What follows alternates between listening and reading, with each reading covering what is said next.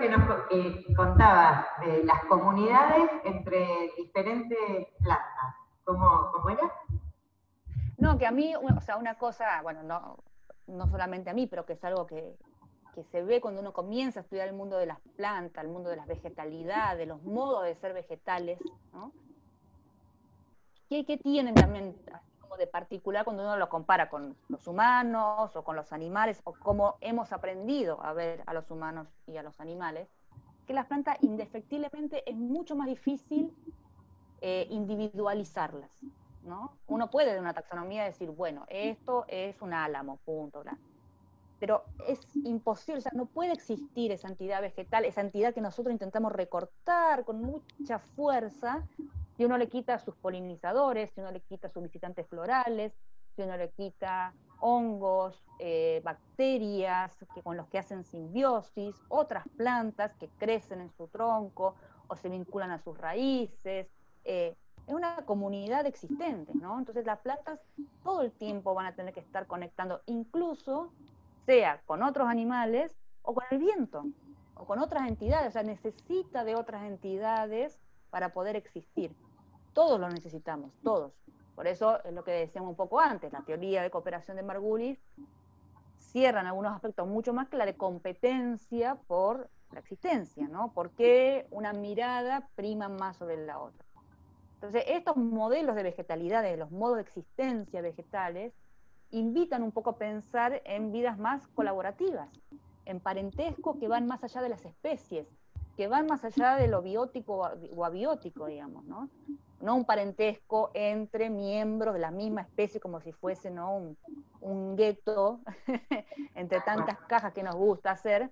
Eh, entonces uno puede hacer parentesco con sus animales de compañía, sus perros, sus gatos, con los que los visitan, incluso con los pájaros que me puede visitar y vienen, o el colibrí que viene a las plantas o las abejas que vienen a las plantas que yo tengo, las flores, para con todos ellos uno hace comunidad, digamos, ¿no?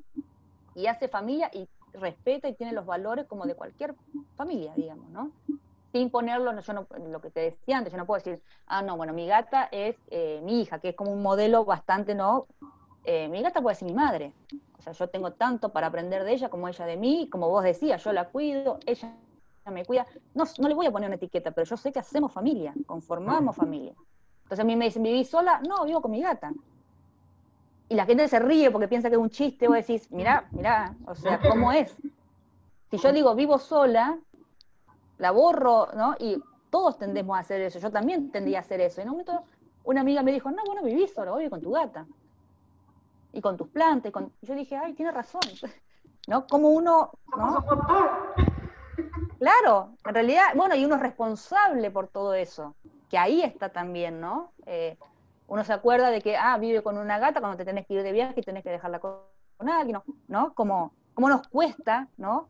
Conectar realmente, no solamente en el discurso, sino realmente, ¿no? Con eh, esos otros existentes con los que este, nos vinculamos de manera más cercanas, menos, digamos. Pero me parece que que ese, modelo vegetal, digamos, es mucho, es mucho más difícil de cortar y de decir, bueno, este es un individuo, este es otro individuo, dónde empieza uno, dónde termina el otro, ¿no? Eh, y si uno se pone a ver, bueno, también los animales, las personas también lo somos, pero como que nos es más fácil decir, bueno, yo llego hasta acá, ¿no? Cuando sos un compost de bacterias, de virus, de microorganismos, ¿no? Eh, esta idea de Donna Haraway de que somos un compost, de que todo el tiempo ¿no? existimos en, posibilidad de otros seres y esos otros seres existen gracias a nosotros, ¿no? a un nivel micro, a un nivel macro. Eh, en realidad cuando uno se pone a ver es más difícil el ejercicio de recortar individualidades que de ver las conexiones, ¿no? Son formas de ver diferentes. Estamos tan conectados, porque como decías vos, si vamos a las plantas, las plantas podemos decir que están conectadas por las raíces, a través de las micorrizas, de los hongos, de las, bacterias. Y también a, a, través de las flores. Otra vez escuchaba una, una investigadora que decía, vos fíjate cómo las plantas sintetizan las dos grandes teorías de la física, la teoría de cuerdas y la teoría de las partículas, ¿no? A ver, ¿cómo es? Claro, como si fuese la teoría de cuerdas con las raíces, ¿no? Como si fuesen haces que vinculan, ¿no? Cuerdas y después está átomos, electrones, partículas subatómicas, que son partículas volátiles que se encuentran, bueno, como el polen, ¿no? Como, como que por arriba fueran eso, y por, ¿no? Como si sintetizaran un poco esas teorías, como la teoría que unifica, ¿no? Esa famosa teoría que unifica eh, las diferentes corrientes de, pensamiento en, física cuántica, ¿no?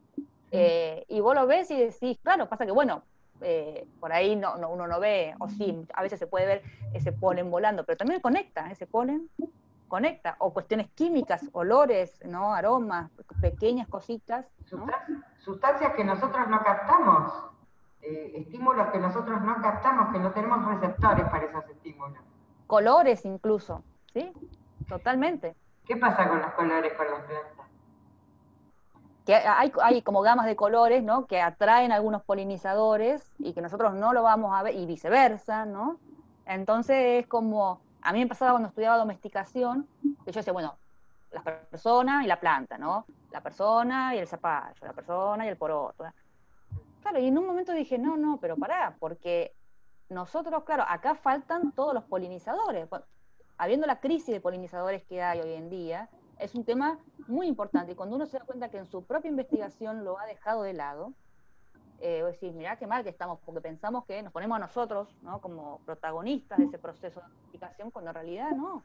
En el medio, si vos a una planta la dejás en su ambiente con sus polinizadores naturales, sobre todo cuando son muy específicos, ¿no? porque hay algunos que son muy específicos, o no, hace una diferencia total en cómo vos te podés relacionar con ese vegetal. Entonces nunca va a ser una relación de a dos, siempre va a haber muchos más elementos, o sea, bióticos, como puede ser un polinizador, una abeja, un murciélago, etcétera, incluso abióticos, el viento, ¿no? Para dispersar y para. Entonces, ahí la, la, relación se empezó como a abrir mucho más y a volverse mucho más interesante, ¿no? Porque nosotros capturamos un poco esa relación de polinización, ¿no? esa relación de visitante floral, eh, para estar ahí nosotros presentes. Pasa que desde nuestra mirada más occidental y más moderna, eh, como que nos ponemos en el lugar central, y no necesariamente es así. Pesadísimo en el humano. Oh, sí. Sobre todo los occidentales y los modernos, en particular. En particular. Tienen ese, ese yo que no sé qué.